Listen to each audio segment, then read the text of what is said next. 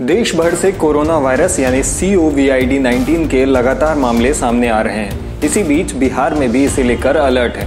बिहार में अब तक कोरोना के उनचास संदिग्ध मिले हैं, जिनमें 45 की जाँच रिपोर्ट नेगेटिव आई है और बाकी बचे लोगों की जाँच हो रही है। कोरोना वायरस को लेकर बिहार, नेपाल सीमा पर भी खास सतर्कता बरती जा रही है। नेपाल की सीमा से सटे जिलों में भारत सरकार की तरफ़ से भी टीमों ने जाँच की है और पूरी टीम निगरानी रख रही है। ये बातें बिहार के स्वास्थ्य मंत्री मंगल पांडे ने बताया है। सरकार पूरी तरीके से गंभीर है।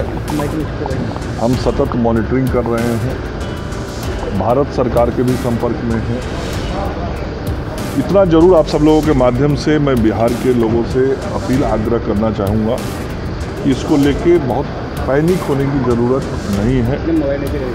और अभी तक कुल उनचास सैंपल्स हमारे पास आए हैं।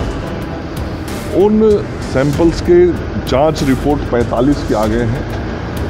45 के रिपोर्ट जो आए हैं वो निगेटिव है। तीन रिपोर्ट अभी एवेटेड है, जो बाद में गया है। एक सैंपल रिजेक्ट कर दिया गया है मतलब सैंपल जाने में कोई दिक्कत हुई होगी। मतलब अभी तक एक भी केस बिहार में पॉजिटिव नहीं आया है। बिहार की सरकार के सभी मेडिकल कॉलेज हॉस्पिटल्स में माइक्रोबायोलॉजी डिपार्टमेंट में सैंपल कलेक्शन की व्यवस्था रखी गई है।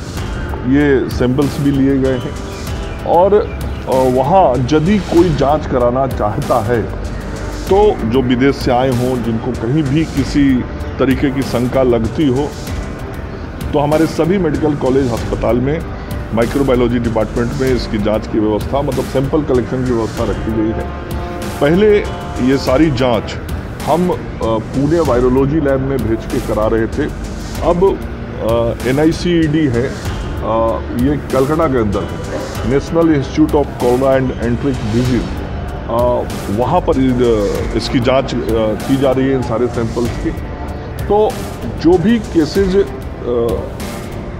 हमारे पास आ रहे हैं मतलब सैंपल्स जो आ रहे हैं, उसकी हम जाँच करवा रहे हैं और अद्यतन स्थिति यही है कि उनचास में 45 रिपोर्ट आए हैं जो सभी के सभी निगेटिव पाए गए हैं।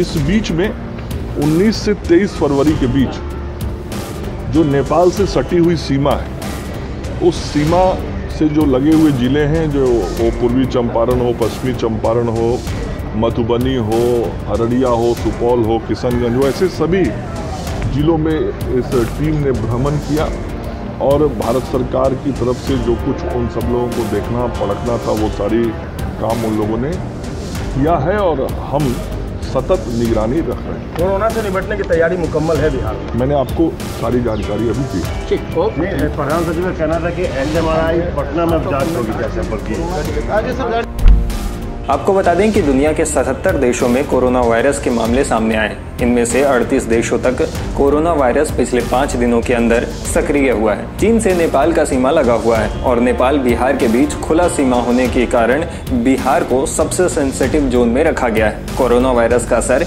बिहार विधानसभा में भी देखने को मिला, जहाँ BJP MLC Sachidanand Rai mask पहनकर पहुँचे और लोगों को इस वायरस को लेकर एहतियात बरतने को कहा है। मास्क पहन के बिहार विधानसभा में बिल्कुल तब से तो मैं यही कह रहा हूँ ना कि एहतियात बरतना है, आपको मास्क भी लगाना है, साबुन से हाथ मुँह भी धोना है, लोगों से टच अवॉइड करना है, हाथ जोड़कर अभिवादन करना है, हाथ मिलाकर नहीं करना है। इसी तरह की चीज़ें देखेंगे, टीवी पर भी प्रचार हो रहा है, उसको देखना है और बिहार सरकार इस बहुत जागरूकता से बड़ी तेज़ी से इसको प्रचार प्रसार करे, इसके लिए मैं आज मास्क लगा आया हूँ, तभी ना आप लोग इतना फ़ोटो और वीडियो खींच रहे हैं। लेकिन विपक्ष कह रही है कि सरकार की तरफ़ से कोई तैयारी नहीं काहे विपक्ष का बात करते हैं महाराज? यहाँ विपक्ष कभी कुछ पॉजिटिव काम किया है? क्या तैयारी नहीं है? कल कल ही तो जाकर तीन से उन्नीस हुआ है। चौदह अकेले इटली के पर्यटक कल पॉजिटिव टेस्ट किए हैं। और कल ही यहाँ बिहार में बैठक भी हो गई। अभी बच्चा पैदा नहीं हुआ मुंडन करना शुरू कर दिए लोग। इधर बक्सर में कोरोना वायरस का एक संदिग्ध मरीज़ मिला है। दरअसल ज़िले के चौसा प्रखंड के कोचिडी गाँव का एक लड़का चार दिन पहले ईरान से लौटा है। सर्दी जुकाम के लक्षण पाए जाने के बाद डॉक्टर्स की टीम ने जाँच शुरू कर दी है। ब्लड सैंपल जाँच के लिए भेज दिया गया है और लड़के को अगले तीन दिनों तक घर से बाहर नहीं निकलने की हिदायत दी गई है। ये लड़का ईरान में किसी कंस्ट्रक्शन कंपनी में काम कर रहा था।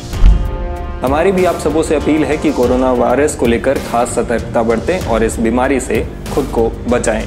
इस वीडियो पे आप अपनी राय हमें कमेंट बॉक्स में लिखकर ज़रूर बताएँ। इस तरह के और भी इन्फॉर्मेटिव वीडियोस को देखने के लिए हमारे YouTube channel the Z plus को सब्सक्राइब कर लें। और अगर आप ये वीडियो फेसबुक पे देख रहे हो तो हमारे पेज को लाइक करें फॉलो कर लें। शुक्रिया।